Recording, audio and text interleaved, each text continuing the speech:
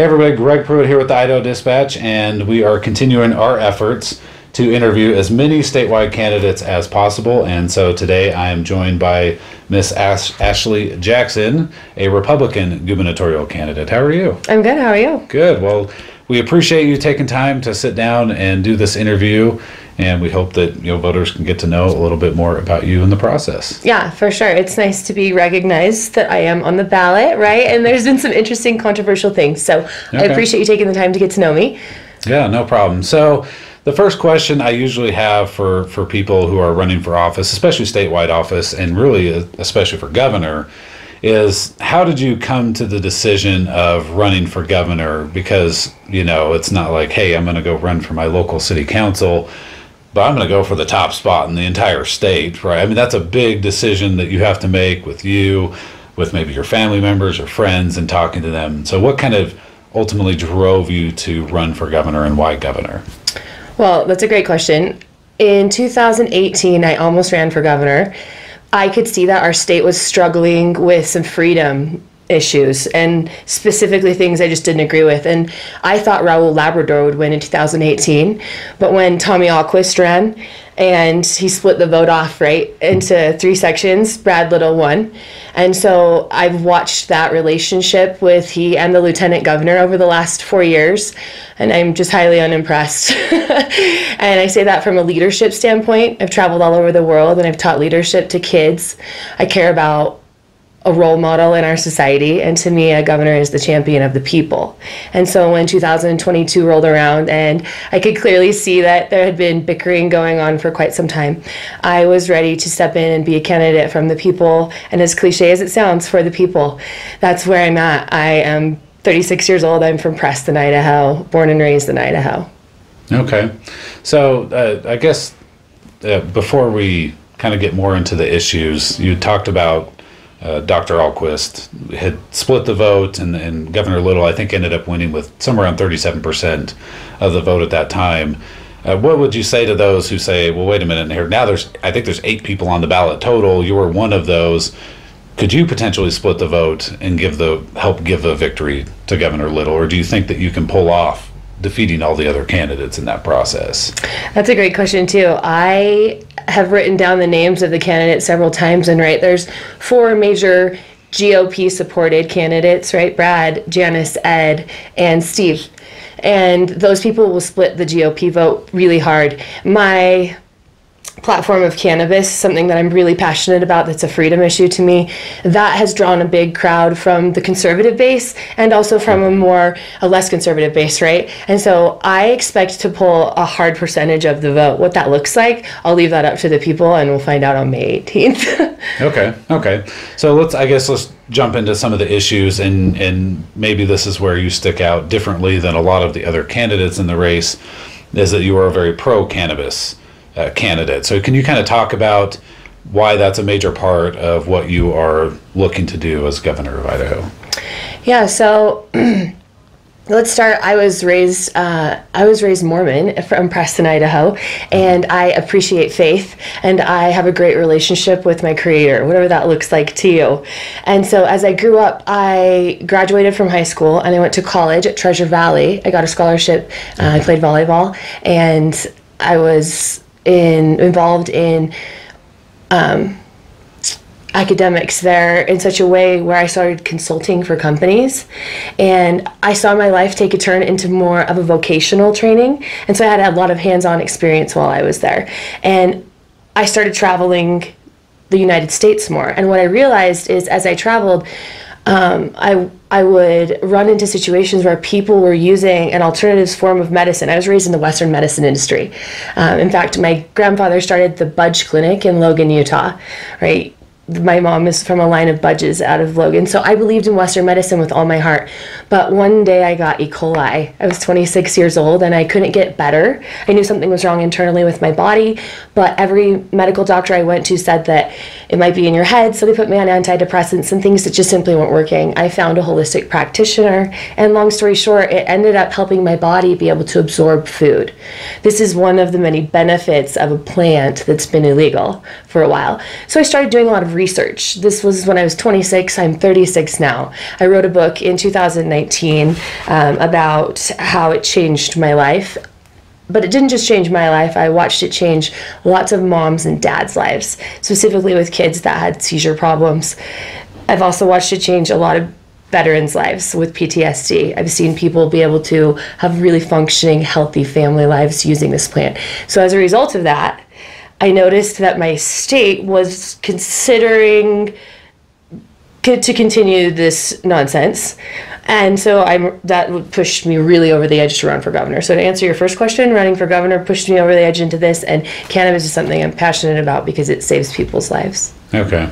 And that's a that's a very hot topic, right? I mean, the legislative session, each legislative session there's there's lots of debate about bringing cannabis into Idaho. Idaho is one of the few states that has no forms of legalized cannabis, whether it's recreational marijuana, medicinal marijuana, or, or even CBD and stuff like that is very, very controversial. So, uh, number one, you know, how do you gain, because there's a lot of Idahoans that maybe don't support it in some, in any form or in some form, you know, what, what is your plan as governor to help push that into the state? And, you know, do you anticipate getting the support of the, of the citizens to do that as governor? It's a great question. I have met with a man that helped do the drug reform in 92 and 93 in this state. He's a, a well known attorney downtown, and he's willing to do the drug reform again right now for this plant specifically. So I am drafting what would look like legislation to be able to start that process. In the meantime, when I'm elected governor in January, I would see that medically it was available in your hospital. We would launch an educational campaign that was statewide, and you would be able to decide at what level you wanted to participate as a citizen educationally for medicinal reasons. And then as we progressed throughout the year, uh, November would come, and you would be able to vote in your county if you wanted it recreationally. And so I would leave it up to the people at that point to govern themselves. There's a demand for it medically, and I'm tired of seeing doctors' hands tied here, frankly, and not being able to provide citizens with choices that they deserve. Okay. Okay, uh, let's shift into some of the some of the other issues. What what are some of the other primary issues that you're other than cannabis that you're focused on in your campaign? Great question. A lot of people are might say I'm a one you know one candidate issue. Some people have labeled me as an activist, and frankly, that's completely false. I'm a extremely staunch Second Amendment supporter. In fact, my father is a firearms dealer, and since a child, I've been pushing primers and cleaning brass.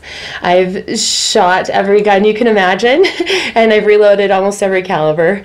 I'm very fluent with conservation and the hunting laws here, and what goes on with land rights, things like this.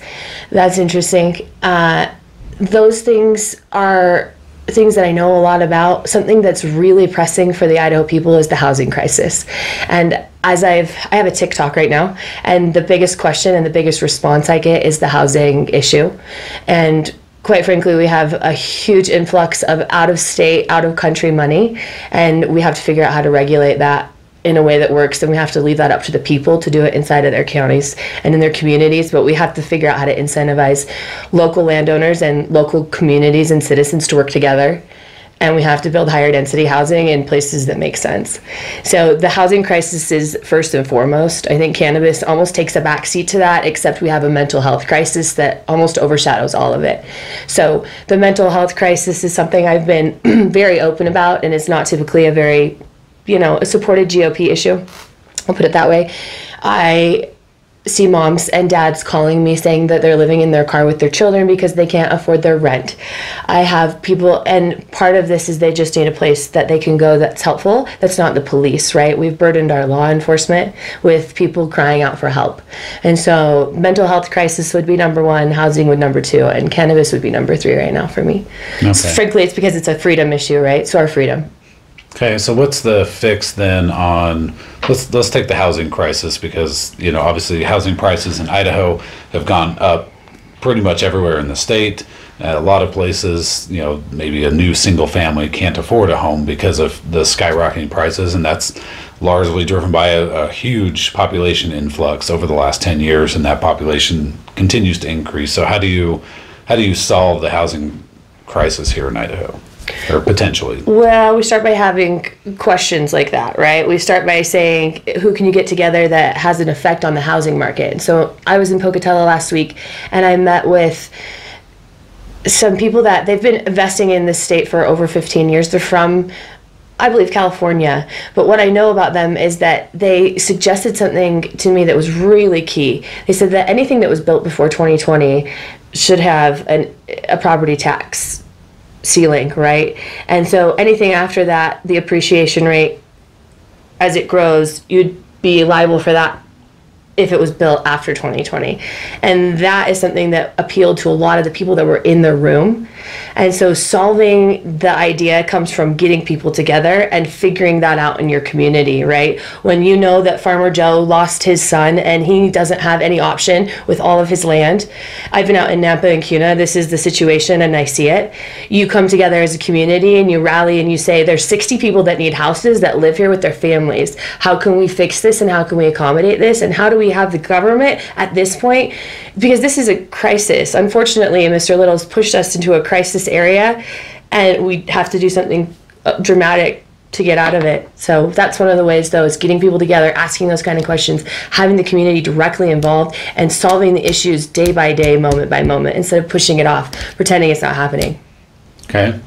Uh, I want to go back just for a minute on, on Second Amendment issues. I mean, every. Mm-hmm I think every candidate in the state that is running, no matter which party they're running in or independent or whatever, is says they're very pro Second Amendment and you know, hey, I go out and shoot guns all the time. I go hunting. I do all of these things. Right. Uh, but I want to just ask about a couple specific issues so that citizens can get maybe more than just the the usual talking point, so to speak, that that comes from all candidates. And so we try to ask them some more specific stuff, such as, you know, where do you stand on red flag laws? Or universal background checks, for instance? Mm, so, universal background checks in what specific regards? So, there's, you know, like for instance, you, you and I, I could actually sell you a firearm. We don't mm-hmm. have to go down to a firearm dealer. I could just sell it to you if I wanted in Idaho. So universal background check would say no, you can't do that anymore. You every every firearm transaction that takes place has to go through a background check. Correct. And so that's just another knockdown of your freedom at this point, we have the Second Amendment for a reason. We're going to uphold the Constitution, and that's quite frankly government overreach. Okay, and then what about red flag laws? That's Tell another me very specifically what you're.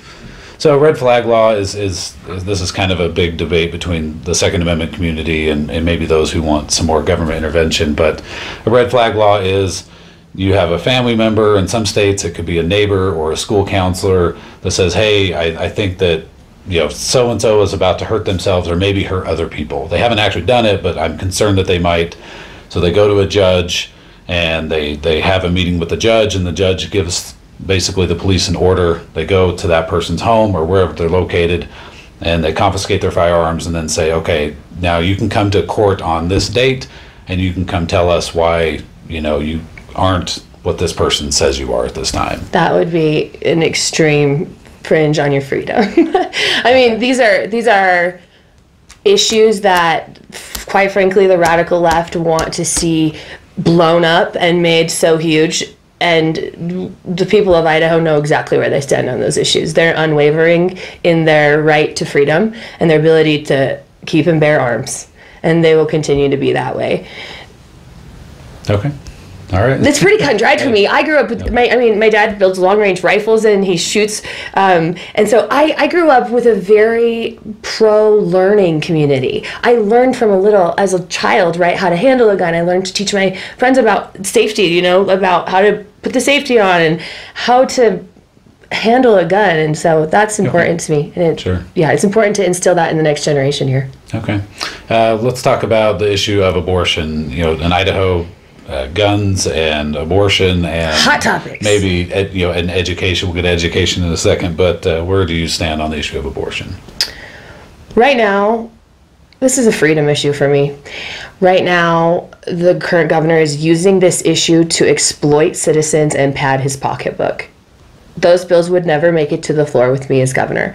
This is about women. the heartbeat bill. I'm talking about the bills that have come up that are about how you could sue your Uber driver and on and on and on. These this is just more of the bickering and more of the inside. It looks just like the bureaucracy in Washington D.C. We are not proud of that here.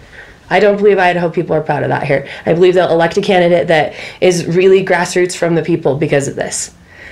Uh, so I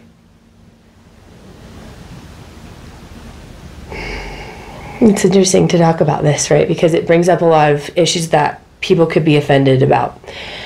A woman deserves the right to take care of her body. We deserve to have that right here, just like we deserve to have the medical right of cannabis. To what degree is up to that woman and up to her medical care providers and up to her moral compass, not up to a government standard that's being that's ex- exploitative, ex- exploiting people. Right? That doesn't fit into my frame of reference, and so people have come at me really sideways about this on TikTok. It's interesting. They're like, "You're so anti-abortion." I'm like, "No, I'm pro-freedom. I want you to have your choice, and I want you to see that this is a big charade. Right? Let's take it off the table." There's other very Republican, conservative states that don't even have it on the table because they know that they'll lose that because this is a freedom issue. So that's where I stand. Okay, so was I is that like I'm you're personally pro-life but don't want the government intervening or I, I, so I I, I, believe that we deserve to take care of the women that are alive right now, that are breathing, and that are trying to make hard decisions. And I believe lawmakers are exploiting those women, making decisions that they have never had to do with anything. So, whatever that looks like for that woman in that time of need, we will figure that out for her. And it's not my job to decide that right now in a sweeping change or a sweeping decision. They keep changing it every day over there to pad their pocketbooks. I'm done. Yeah, I'm done having that on the table as something that's a you know partisan issue. Okay, That's no, a- I, did, a I human didn't. I didn't know issue. as far as Yeah. I mean, setting the woman part aside. I did. Where did you believe life begins? I guess that would be maybe somebody's next question on where does life begin for you personally. Man, that would be a personal choice. So for me, it really would depend on a case by case basis for that woman and how she felt about it. Okay, And no, so like for me, I know yeah. I don't I the personal belief on it shouldn't matter as governor. My my religious belief, my personal belief should not get in the way of someone's freedom. Okay, okay, fair enough. Mm-hmm. All right. I know, and I don't. I'm not that. I'm not gonna shy away from saying that that's the wrong or the right way to answer it. That's just the way that it deserves to be handled. It's a very sacred issue. It's not something to exploit. Okay. All right. Uh, let's switch over to education. And the, this is also another really big topic in, in Idaho every single year during the session. And so let's first talk about education funding. And right now, you know, education does take up a large part of the budget. As governor, you know, do you think you would be pushing for more funding, less funding, or is the funding good the way that it is? And do you also support that? Uh, I think Reclaim Idaho is doing a, a multi-million dollar increase for education funding through a ballot initiative instead, or do you think that might be the way to go? I've seen their initiative. They're taking action in their communities. They're strong initiative. Funding comes from money. Revenue comes from from dollars, right? So we have to increase the revenue into our state to have more funding. And in my mind, part of that revenue comes from cannabis. If you look at the the tax money that's available through cannabis, you can immediately put any percentage that you would like to up to almost 100% of the full revenue back into the schooling systems immediately back into the infrastructure for the schooling systems and yeah the the the topic of school choice of the money following the child that's really important right now.